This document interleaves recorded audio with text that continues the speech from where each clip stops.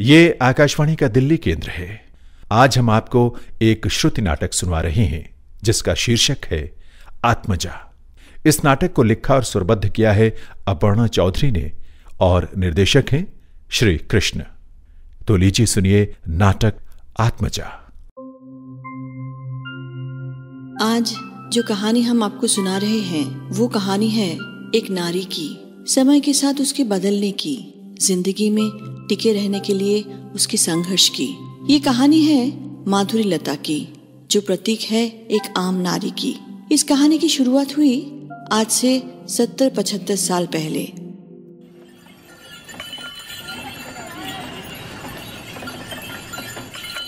मेरा बचपन बीता कलकत्ते की एक बहुत पुरानी हवेली में, जो मेरे दादाजी ने बनवाई थी।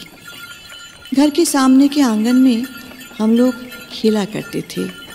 माँ और बड़ी चाची बड़ी बड़ी थालियों में अचार सुखाया करती थी। याद है बड़ी चाची की डांट। खबरदार, अचार को हाथ नहीं लगाना।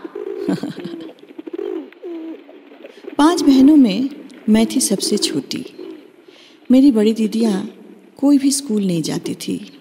दिन भर घर में बैठकर सिलाई बुनाई करती रहती थी। और मैं धूप में बैठकर पहाड़े याद करती थी। दो एकम दो दो दूनी चार तीन दूनी छः चार दूनी आठ पाँच दूनी दस दो एकम दो। मजली दीदी बहुत सुंदर गाती थी लेकिन उस्ताद रख के गाना सीखना हमारे घर में कोई सोच भी नहीं सकता था। एक बार बात चली थी लेकिन याद है पिताजी ने बहुत डांटा था। याद है पड़ोस के जगत चाचा को गाना गाने का बहुत शौक था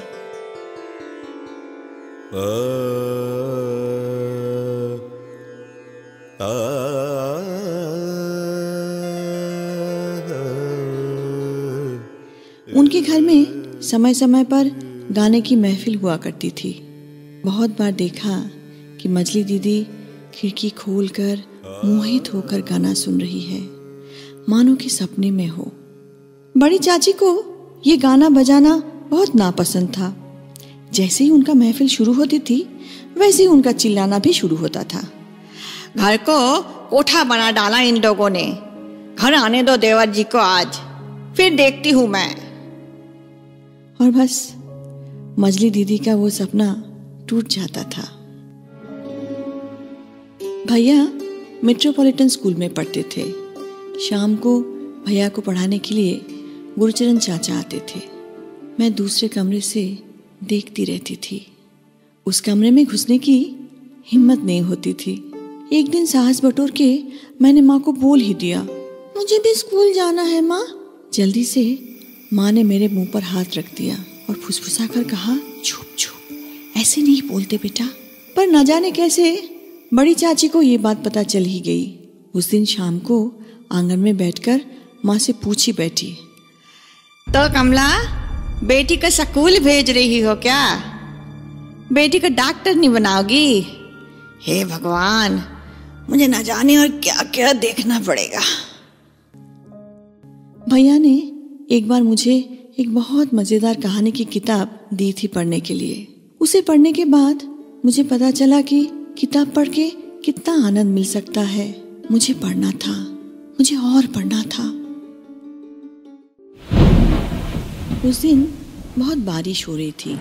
मैं पलंग पर बैठकर अपने ही ख्यालों में खोई, अपनी फ्रॉक को उंगली में लपेट रही थी।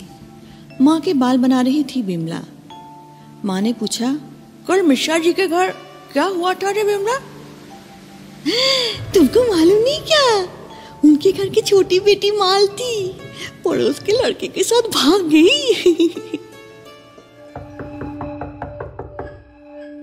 भैया आए। उन्होंने कहा, माँ, कल मधु को स्कूल में दाखला कराने ले जाऊँगा। टीचर से मेरी बात हो गई है। माँ ने कहा, मधु को? स्कूल? पिताजी से बात की पिताजी को सिर्फ़ एक दस्तखत करना है। वो मैं रात को खाने पर समझा दूँगा। तुम चिंता मत करो।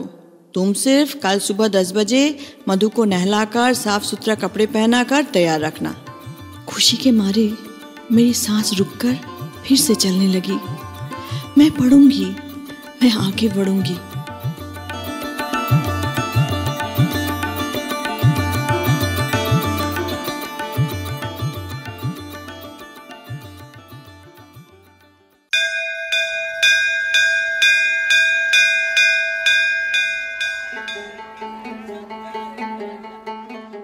स्कूल की बातें मुझे बहुत याद आती है। गणित की शिक्षिका सुषमा दीदी क्लास में ज्योमेट्री का फॉर्मूला समझाते वक्त जैसे ही बोलती थी, ए सी बाई बी सी। तभी कृष्णा पीछे से बोल उठती थी, हँसी तो फंसी। सारा क्लास हँसी से लोट पोट हो जाता था। एक बार रेणुका दीदी राजतंत्र समझाते हुए डायस पर चढ़ के हाथ आसमान की ओर उठाकर चिल्ला के बोल उठी थी, सोचो कि मैं राजा और तुम सब मेरी प्रजा। और कहते कहते ही अपना संतुलन खो के गिर पड़ी सामने वाली कतार में बैठे हुए स्टूडेंट्स के ऊपर। क्लास में हलचल मच गई। तभी पीछे से किसी ने आवाज़ लगाई, और राजा का पतन हुआ! याद आती है भूगोल की शिक्षिका नीलिमा दीदी। क्लास में आते ही बोल पड़ती थी, आवाज़ नीचे करो नीचे करो! तभी हम सब डेस्क के नीचे घुस जाते थे और हमारी बातें चालू रहती थी। हमारी प्रिंसिपल सरजू दीदी का फेयरवेल फ़ंक्शन था। हम सब की आँखें नम। सरजू दीदी स्टेज पर आई अपना आखिरी भाषण देने। हम सब रोने के लिए तैयार। दीदी ने बोलना शुरू किया। आज जहाँ ये स्कूल बिल्डिंग खड़ी है, पैंतीस साल पहले वहाँ सिर्फ़ एक लैट्रिन थी। पूरा हॉल हँसी से फट पड़ा। पल में वो दुखी माहौल हँसी के माहौल में बदल गया। ऐसे ही हँसते, खेलते और सीखते वो चंद साल कैसे बीत गए पता ही नहीं चला।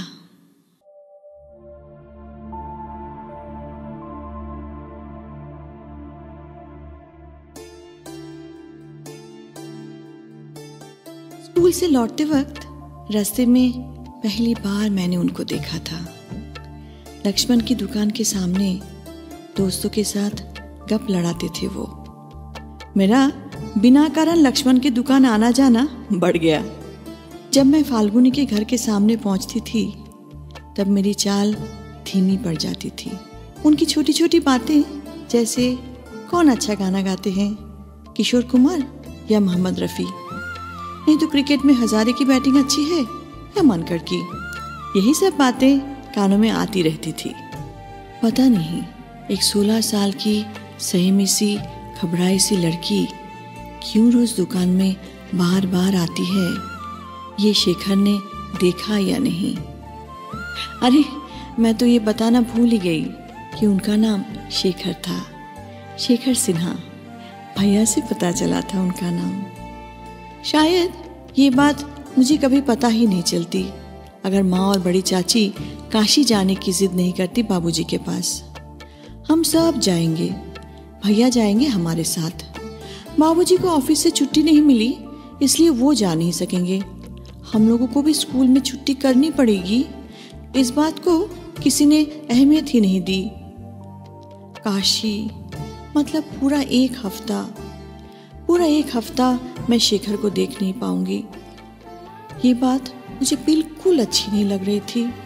लेकिन कोई चारा नहीं था, जाना ही पड़ेगा।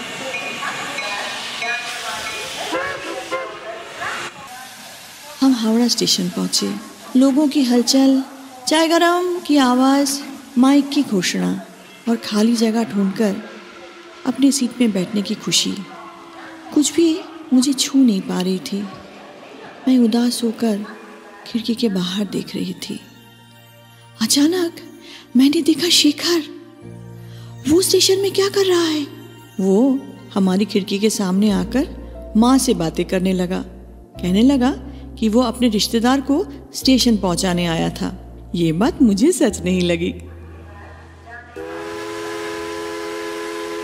फिर ट्रेन छूटी। धीरे धीरे प्लेटफॉर्म पीछे छूटने लगा। शेखर प्लेटफॉर्म पर खड़ा मुझे देखता रहा। अचानक मैंने महसूस किया कि मेरे मन में एक अजीब सी खुशी छा रही है।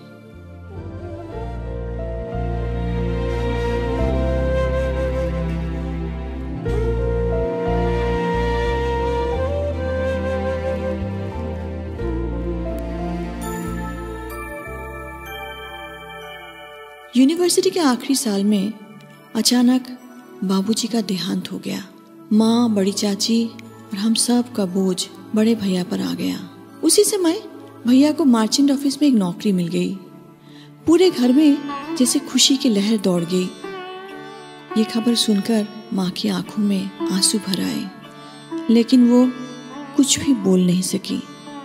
पिताजी के देहांत के बाद पहली बार हमारे घर में खुशियाँ आई थी। मुझे इतनी खुशी महसूस हो रही थी कि लग रहा था कि उड़ती हुई जाकर ये बात शेखर को बता दूँ। तब मैं नियमित रूप से शेखर से मिलती थी कॉफ़ी हाउस में। शेखर अपने मामा के घर रहता था। वो पढ़ाई में बहुत होशियार था। उनकी विधवा माँ छोटे छोटे भाई बहन उसी के भरोसे दिन काट रहे थे कि कब उसे नौकरी मिलेगी और वो परिवार को सहारा देगा। उस दिन मैं ज़रा जल्दी ही पहुँच गई कॉफ़ी हाउस में। खुशी की खबर देनी थी ना? इसलिए थोड़ा सज धज के गई थी। सजने पर मैं काफ़ी अच्छी दिखती थी। शेखर की पसंद की बड़ी सी बिंदी भी लगाई थी। शेखर थका हारा अपनी ट्यूशन खत्म करके आ पहुँचा कॉफ़ी हाउस में। आकर मुझे थोड़ी देर गौर से देखा। फिर बोला, क्या बात है? इतना श्रृंगार क्यों? घर वालों ने शादी तय कर दी क्या? मुझे शेखर थोड़ा बदला बदला सा लगा उस दिन। ऐसी कठिन बातें वो कभी नहीं बोलता था। मैं हंस के बोली भैया को ना मर्चेंट ऑफ़िस का वो नौकरी मिल गई है। सुन के वो थोड़ी देर चुप रहा।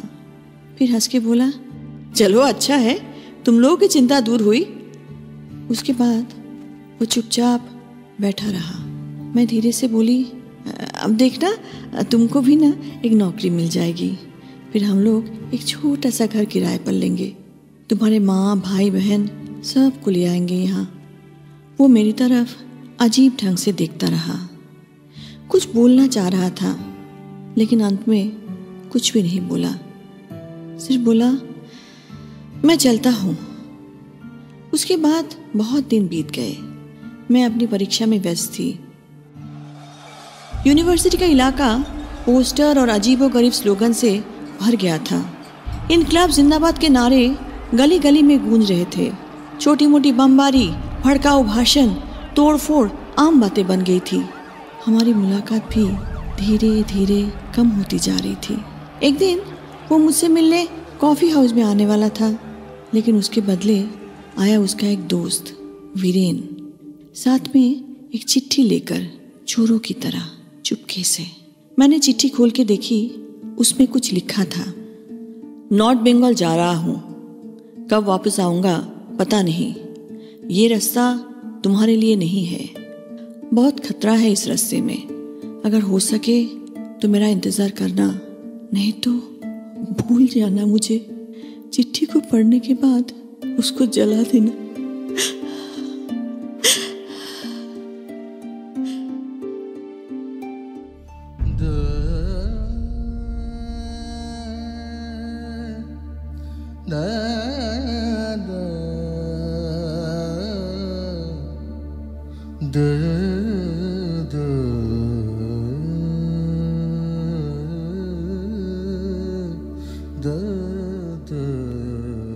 अपने आप को संभाल के बहुत मुश्किल से घर आई थी उस दिन। मोहल्ले में एक अजीब सा सन्नाटा छाया हुआ था। घर पहुँचे तो पता चला कि शेखर के मामा के घर पुलिस आई थी। वो मिला नहीं, इसलिए उसके भाई को उठा के ले गई। माँ ने कहा, इतने साल हमारे पड़ोस में रहा। हमें कुछ पता भी नहीं चला। अच्छा मधु, तुझे मालूम था क्या? वो नक्सलियों के साथ जुड़ा हुआ था? मैं चुप रही। कैसे बोलूँ कि मुझे भी आज ही पता चला? आज ही इस घटना के एक महीने के अंदर ही भैया ने मेरी शादी तय कर दी। लड़का स्कूल मास्टर, उन्हें दहेज नहीं चाहिए। मैंने माँ की तरफ़ देखा।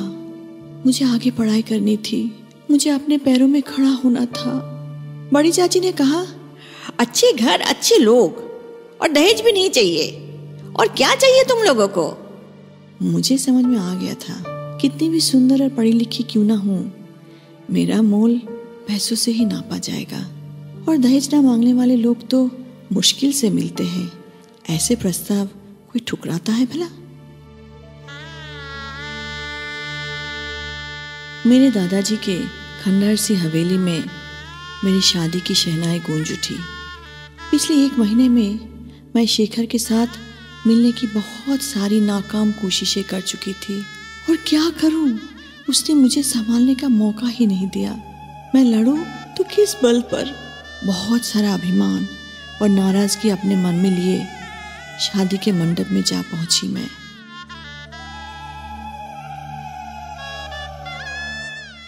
शादी के वक्त मैंने ठीक से देखा भी नहीं अपने पति को। जब विदाई का वक्त आया, फूलों से सजी हुई गाड़ी खड़ी थी दरवाजे पर। मैं अपनी किताबों को ले जाना चाहती थी।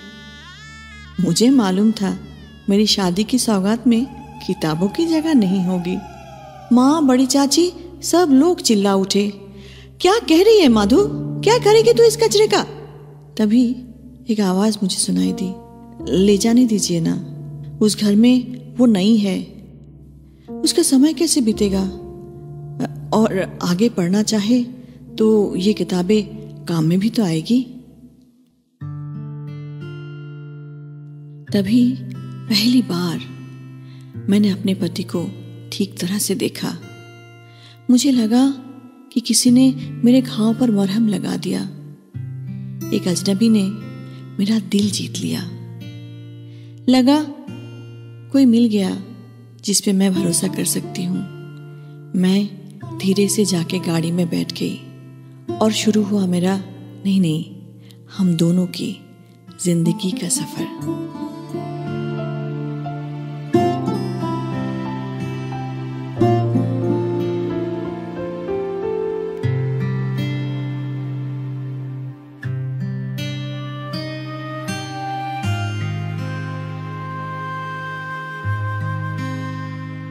शादी के दस साल बाद हमने एक छोटा सा घर खरीदा।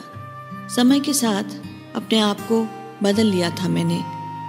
मधु अब बन गई थी मिसेस चैटर्जी। हमारे मोहल्ले की दुर्गा पूजा में हम सब लोग हिस्सा लेते थे। मूर्ति लाने से लेकर सामान खरीदना, प्रसाद बांटना, हर काम में हम लोग पूरे उत्साह के साथ भाग लेते थे। एक बहुत बड़े परिवार की तरह मुझे मायके की याद आ जाती थी। लेकिन मेरी बेटी तितली को ये सब अच्छा नहीं लगता था। तितली बेटा उठ जाओ। पूजा में जाना है ना? आरती खत्म हो जाएगी। चल बेटा, उठ जा। ओ माँ रिलैक्स करने दो ना प्लीज़ एंड यू नो ये सब पूजा वगैरह मुझे फैसिनेट नहीं करती। प्लीज़ मुझे थोड़ा सोने दो माँ प्लीज़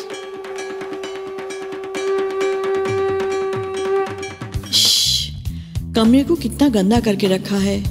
दीवार भरी हुई है तस्वीरों से। सारा बिस्तर भरा हुआ है कैसेट से। क्या सब नाम?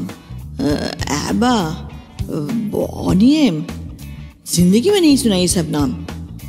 लीव मी अलोन माँ। बहुत शौक से बेटी को हमने कॉन्वेंट स्कूल में भेजा था। शुरू से ही तितली पढ़ाई में बहुत अच्छी थी।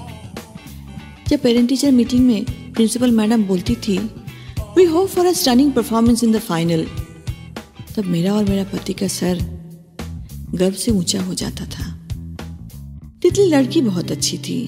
पढ़ाई में अच्छी, स्वाभिमानी, आज्ञाकारी, लेकिन हृदय से भारतीय नहीं बन सकी। अपनी भाषा, अपनी संस्कृति कुछ भी उसे अच्छा नहीं लगता था। इसलिए ग्रेजुएशन के बाद जब उसने अमेरिका के एनरबर यूनिवर्सिटी में स्कॉलरशिप के लिए आवेदन किया तब मुझे आश्चर्य नहीं हुआ। उसके पिताजी बहुत खुश थे। बोलते थे, हमारी बेटी शिक्षा के लिए विदेश जा रही है। हमें उसका साथ देना चाहिए। शायद उनके मन में यह आस थी, पढ़ाई के बाद बेटी वापस हमारे पास आ जाएगी। अपना पासपोर्ट उसने बनवा कर ही रखा था। पिताजी को लेके वीज़ा बनवाना टिकट का बंदोबस्त सब कर लिया उसने। आँसू छुपा के उसका सूटकेस पैक कर दिया मैंने। शायद आखिरी बार। फिर जाजावर पंछी की तरह उड़ गई मेरी बेटी। हम दोनों एयरपोर्ट में खड़े हाथ हिलाते रहे। पूरा एक साल बीत गया। पूरा एक साल बीत गया। दुर्गा पूजा आई तितली जाने के बाद पहली पूजा। कुछ भी अच्छा नहीं लग रहा था। चारों तरफ़ एक अजीब सा सन्नाटा। चारों तरफ़ एक अजीब सा खालीपन महसूस हो रहा था। मन ही मन मैंने माँ दुर्गा से कहा, मैं तो माँ मेनका से भी अभागिन हूँ। आप तो फिर भी साल में एक बार आती है माँ। और मेरी बेटी। सिंदूर खेलने के बाद बहुत थक के दो कप चाय लेके हॉल में जा बैठे हम दोनों। अचानक टेलीफोन का लंबा रिंग लॉन्ग डिस्टेंस कॉल जल्दी जाके फ़ोन उठाया।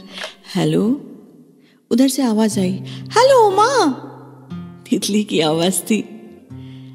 Hello? Can you hear me कैसी हो बेटा माँ I am fine I am just fine happy Pujo and Shubh Vijay to you and बाबा बाय लागू miss you so much both of you love you माँ लव यू अ लॉट हाँ तितली तुझसे कितनी बातें करनी थी। माँ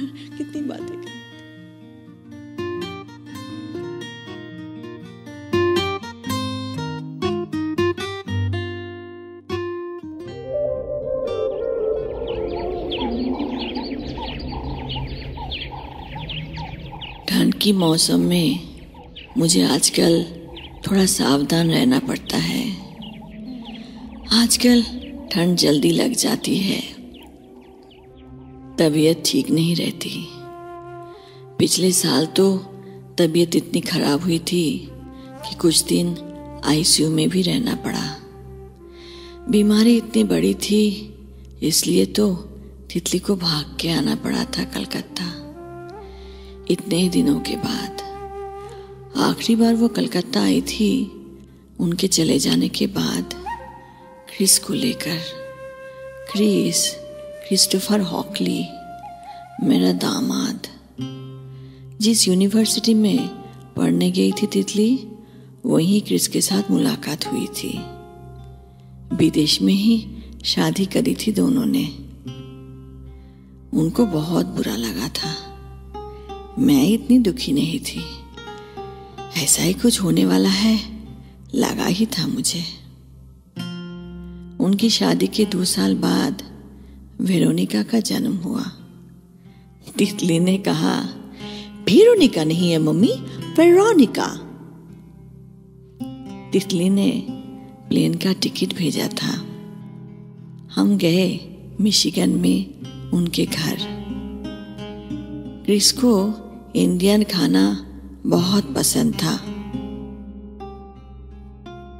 एक बार मैंने खाना खाने के बाद उसको मीठा पान खाने के लिए दिया था। उसने अंदर का मसाला खा लिया और पान के पत्ते को फेंक दिया। सब कुछ ठीक ठाक ही चल रहा था। गड़बड़ी शुरू हुई तितली और उसके पिताजी के बीच। तितली का अमेरिकन बन जाने की कोशिश उसके पिताजी को एकदम पसंद नहीं थी। चार महीने बाद अचानक एक दिन वो अपना सामान बांधने लगे। मुझसे बोले, अगर बेबी सिटिंग के लिए रहना चाहती हो तो रह जाओ। मैं कलकत्ता वापस जाना चाहता हूँ। नतीजन मुझे भी वापस आना पड़ा। तितली को बहुत बुरा लगा था। बाबा अब बेकार में सेंटिमेंटल हो रहे हैं। We are not neglecting you here everybody is so busy try to understand और हमारे लिए बार बार इंडिया आना मुश्किल है। आई भी नहीं कभी वो। पोती कितनी बड़ी हुई। ये बात उनकी चिट्ठी से या फ़ोटो से पता चलती थी हमें। लेकिन बाप और बेटी कोई भी आने की बात नहीं करते थे। लेकिन मेरे पति अंदर ही अंदर घुट रहे थे।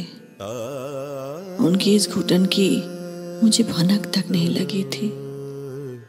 जब पता चला तो बहुत देर हो चुकी थी। एक दिन अचानक हमारे प्यारे शांति कुंज में मैं अकेली रह गई। बिल्कुल अकेली।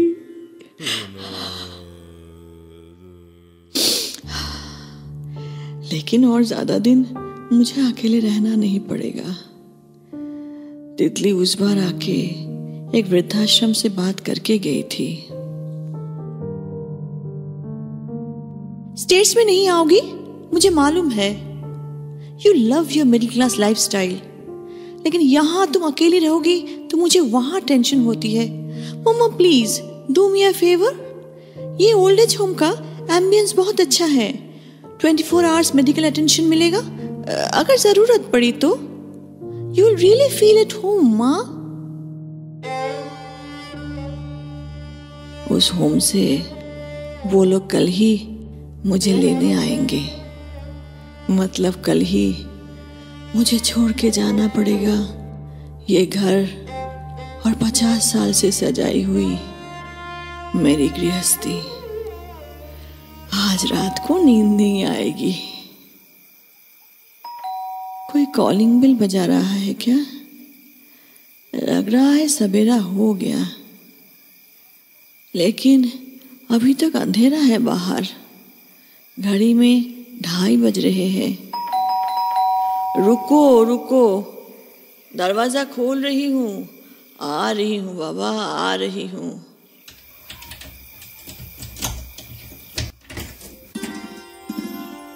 दरवाज़ा खोलते ही मुझे लगा, एक झरना काल काल करते हुए मेरे ऊपर आ गिरा। ओ दीदू दीदू माय स्वीट दीदू आई एम वेरोनिका वेरोनिका तुम्हारी पोती रिमेम्बर मी मैं तो हैरान रह गई। थोड़ी देर बाद जब मुझे सब समझ में आया तो मैंने उसे गले से लगा लिया। तीन बड़े बड़े सूटकेस लेकर वो हॉल में आ बैठी। फिर मैंने पूछा, क्या बात है? आप कैसे कलकत्ता में?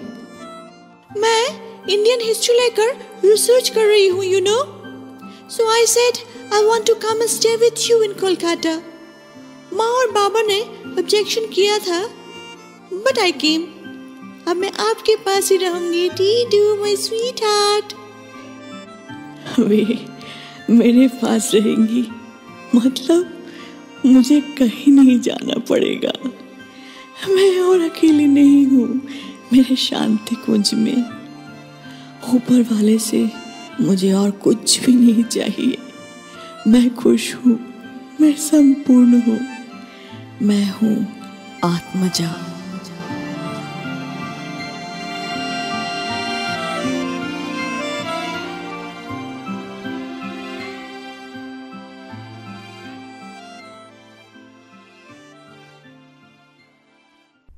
आत्मजा, अभी आप ये नाटक सुन रहे थे। नाटक का आलेख और स्वर अपर्णा चौधरी का था और निर्देशक थे श्री कृष्ण। केंद्रीय नाटक एकांश के लिए आकाशवाणी आगरा द्वारा तैयार ये नाटक आकाशवाणी के दिल्ली केंद्र से प्रसारित किया गया। प्रसारित किया गया।